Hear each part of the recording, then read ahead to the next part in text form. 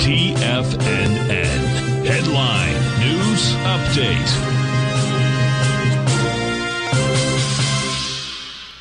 Hi everyone, Basil Chapman for the Tiger Financial News Network. 11 o'clock uh, update on the market. We're looking at minus 342 at 31,152. That 31,000 level on a closing basis is really important, just both psychologically, but also technically. Uh, because if we take that out on a monthly basis, 29,568, the high of the, the February of 2020 before we plunged 39%, will become at least some kind of a, a, a, visual target.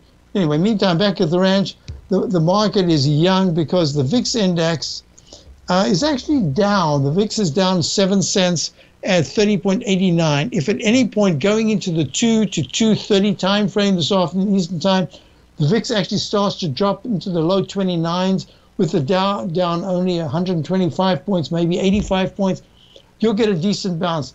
If it's the opposite and that VIX index takes out the, the Chapman Wave inside track repellent zone you can see in this daily chart on the left and starts to trade in the 33s, wow, this market will just it'll just sail to the downside like a like a like a rock. So we're looking at the S&P. S&P at this point is down 22 at 39.01, above the high that was made six days ago. That's a good sign. QQQ is above the left side high of 284.94 at 291.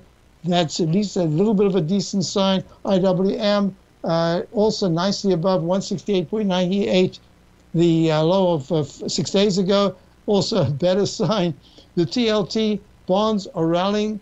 They're up $1.28. That means yields are coming down. The dollar is finally coming a bit down, a bit lower, down at 102.98, down 99 cents. Looks to me like we've made a peak F, and we're going to be at least in for a short-term pullback because gold is taking the opportunity to rally. It is up $28 at 1844. If it can close above the uh, 14 period moving average and go into the 1853 uh, area, then the 1864 is the 200 period moving average that has really had a tough time. That's been, was supported, now strong resistance. Uh, looking at crude oil, as crude oil pool, yep, crude oil is now up 15 cents at 107.17. It was all the way down to 103.24. We're watching crude oil. It's in play. Um, so I'm going to hand you over to Larry Pesavento.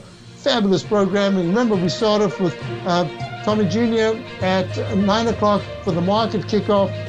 Then we go to my show, the Tiger Technicians Hour. Larry Pesavento, uh, Think or Swim.